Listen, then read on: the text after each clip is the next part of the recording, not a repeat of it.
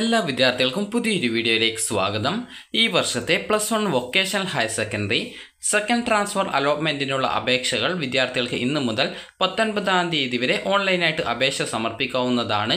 ഇതുവരെ vocational higher സെക്കൻഡറിയിൽ allotment ലഭിച്ച് സ്ഥിരപ്രവേശനം നേടിയിട്ടുള്ള വിദ്യാർത്ഥികൾക്കാണ് പത്തൊൻപതാം തീയതി രാവിലെ പത്ത് മണിവരെ ഓൺലൈനായിട്ട് അപേക്ഷ സമർപ്പിക്കാനായിട്ട് സാധിക്കുക. ഓൺലൈനായിട്ട് അപേക്ഷ സമർപ്പിക്കുകയും അതിനുശേഷം അപ്ലിക്കേഷന്റെ പ്രിന്റ് ഔട്ടിൽ വിദ്യാർത്ഥികൾ നിങ്ങളുടെയും നിങ്ങളുടെ രക്ഷിതാവിന്റെയും സിഗ്നേച്ചർ ഇട്ട് നിങ്ങൾ ലാസ്റ്റ് അഡ്മിഷൻ നേടിയ സ്കൂൾ എവിടെയാണോ അതായത് സ്ഥിരപ്രവേശനം നിലവിൽ ഇപ്പോൾ എവിടെയാണോ ആ ഒരു സ്കൂളിലെ പ്രിൻസിപ്പാളിന് നൽകേണ്ടതാണ്. Vacancy list V H S cap dot Kerala dot gov dot in എന്ന വെബ്സൈറ്റിൽ പ്രസിദ്ധീകരിച്ചിട്ടുണ്ട്.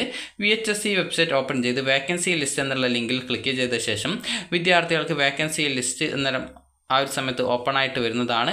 അപ്പോൾ വേക്കൻസി ലിസ്റ്റ് എന്നുള്ള ക്ലിക്ക് ചെയ്ത് നിങ്ങൾ ഏത് ജില്ലയിലാണോ അഡ്മിഷൻ നേടിയിട്ടുള്ളത്. ആ ഒരു ജില്ല സെലക്ട് ചെയ്ത ശേഷം ഗെറ്റ് ഡാറ്റ എന്നുള്ളത് ക്ലിക്ക് ചെയ്ത് കഴിഞ്ഞാൽ നിങ്ങൾക്ക് ഓരോ സ്കൂളിലെയും അതായത് ഓരോ വൊക്കേഷണൽ ഹയർ സെക്കൻഡറി സ്കൂളിലെയും സീറ്റ് നിങ്ങൾക്ക് കാണാൻ സാധിക്കുന്നതാണ്.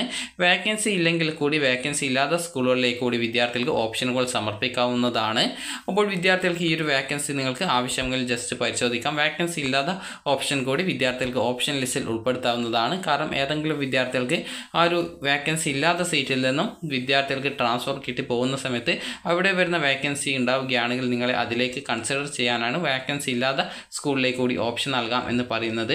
വിദ്യാർത്ഥികൾക്ക് ഈ ഒരു വൊക്കേഷണൽ ഹയർ സെക്കൻഡറി വെബ്സൈറ്റിലെ കാൻഡിഡേറ്റ് ലോഗിൻ എന്നുള്ള ലിങ്കിൽ ക്ലിക്ക് ചെയ്ത ശേഷം നിങ്ങളുടെ യൂസർ നെയിം ആയിട്ടുള്ള മൊബൈൽ നമ്പറും പാസ്വേഡും അതുപോലെ തന്നെ ഇവിടെ കാണുന്ന കുറച്ച് ഇംഗ്ലീഷ് സെക്ഷൻ കാണും. അത് കറക്റ്റായിട്ട് മനസ്സിലാകുന്നില്ലെങ്കിൽ ഇവിടെ നിങ്ങൾക്കൊരു റിഫ്രഷ് ബട്ടൺ കൊടുത്തിട്ടുണ്ട്. അത് ക്ലിക്ക് ചെയ്യുന്ന സമയത്ത് ആ ഒരു കോഡ് ചേഞ്ച് ആയി വരുന്നത് കാണാൻ സാധിക്കും. നിങ്ങൾക്ക് കറക്റ്റായിട്ട് എപ്പോഴാണ് മനസ്സിലാകുന്നത്? അത് കറക്റ്റായിട്ട് നൽകി ലോഗിൻ ചെയ്ത ശേഷം അപ്ലൈ ഫോർ ട്രാൻസ്ഫർ അലോട്ട്മെന്റ് എന്നുള്ള ലിങ്കിൽ ക്ലിക്ക് ചെയ്ത ശേഷം വിദ്യാർത്ഥികൾക്ക് ആവശ്യമായിട്ടുള്ള ഓപ്ഷനുകൾ ആഡ് ചെയ്ത് കൊടുക്കാവുന്നതാണ്. അപ്പോൾ പത്തൊൻപതാം തീയതി രാവിലെ പത്ത് മണി വരെയാണ് വിദ്യാർത്ഥികൾക്ക് ഈ ഒരു രീതിയിൽ വൊക്കേഷണൽ ഹയർ സെക്കൻഡറിയിലെ ട്രാൻസ്ഫർ അലോട്ട്മെന്റിനുള്ള അപേക്ഷ സമർപ്പിക്കുന്നതിനായിട്ട് സാധിക്കുന്നത്. അപ്പോൾ വിദ്യാർത്ഥികൾക്ക് ഇതുമായി ബന്ധപ്പെട്ടുള്ള ഇൻസ്ട്രക്ഷൻസ് നമുക്ക് നോക്കാം. വിദ്യാർത്ഥികൾക്ക് ഈ ഒരു സർക്കുലർ പ്രകാരം പറഞ്ഞിട്ടുള്ളത് ട്രാൻസ്ഫർ അലോട്ട്മെന്റിനായിട്ടുള്ള അപേക്ഷകൾ വിദ്യാർത്ഥികൾക്ക് ജൂലൈ പതിനേഴ് മുതൽ പത്തൊൻപതാം തീയതി രാവിലെ പത്ത് മണി വരെ ഓൺലൈനായിട്ട് അപേക്ഷ സമർപ്പിക്കാവുന്നതാണ്.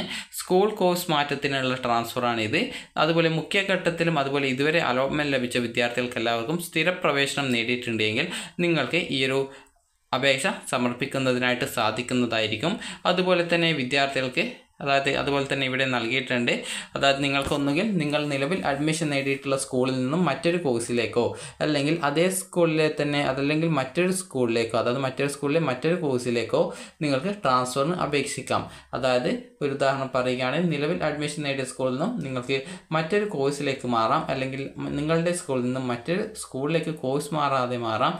അതുപോലെ നിങ്ങളുടെ സ്കൂളിൽ നിന്നും മറ്റൊരു സ്കൂളിലേക്ക് വൊക്കേഷണൽ കോഴ്സ് മാറിയിട്ട് മാറാം. അതായത് നിങ്ങൾക്ക് ഈ ഒരു വൊക്കേഷണൽ ഹയർ സെക്കൻഡറിയിൽ നിന്ന് വൊക്കേഷണൽ ഹയർ സെക്കൻഡറിയിലേക്ക് മാത്രമാണ് ഈ ഒരു ട്രാൻസ്ഫർ ആയി നിങ്ങൾക്ക് അപേക്ഷ നൽകാനായിട്ട് സാധിക്കത്തുള്ളൂ. അതുപോലെ തന്നെ വിദ്യാർത്ഥികൾ V H S cap dot V Jio V dot in എന്ന വെബ്സൈറ്റ് ഓപ്പൺ ചെയ്ത ശേഷം നിങ്ങളുടെ യൂസർ നെയിമും അതുപോലെ തന്നെ പാസ്വേഡ് നൽകി കാൻഡിഡേറ്റ് ലോഗിൻ ചെയ്ത ശേഷം ആവശ്യമായിട്ടുള്ള ഓപ്ഷനുകൾ നൽകി നിങ്ങളുടെ അപേക്ഷ ഫോം കൺഫേം ചെയ്യേണ്ടതാണ്. അപ്പോൾ ലഭിക്കുന്ന പി ഡി എഫ് രൂപത്തിലുള്ള അപേക്ഷയുടെ പ്രിന്റ് ഔട്ട് അപേക്ഷനും രക്ഷാകർത്താവും ഒപ്പുവെച്ച് നിലവിൽ പ്രവേശനം നേടിയ സ്കൂളിലെ പ്രിൻസിപ്പാളിന് നൽകണം. ട്രാൻസ്ഫർ അപേക്ഷ സമർപ്പിച്ച് ട്രാൻസ്ഫർ അലോട്ട്മെന്റ് കിട്ടിയാൽ നിർബന്ധമായിട്ടും വിദ്യാർത്ഥി ട്രാൻസ്ഫർ ലഭിച്ച സ്കൂളിൽ കോഴ്സിലേക്ക് മാറേണ്ടതാണ്. അതായത് ആ ഒരു കോഴ്സിലേക്ക് ഏത് കോഴ്സിലേക്കാണോ നിങ്ങൾക്ക് ട്രാൻസ്ഫർ കിട്ടിയത് ആ ഒരു കോഴ്സിലേക്ക് നിർബന്ധമായിട്ടും പോയിട്ട് അഡ്മിഷൻ നേടേണ്ടതാണ്. അപ്പോൾ വിദ്യാർത്ഥികൾക്ക് ഈ ഒരു വീഡിയോ ഉപകാരപ്രദമായിട്ടുണ്ടെങ്കിൽ ലൈക്ക് ചെയ്യുക ഷെയർ ചെയ്യുക. Thank for watching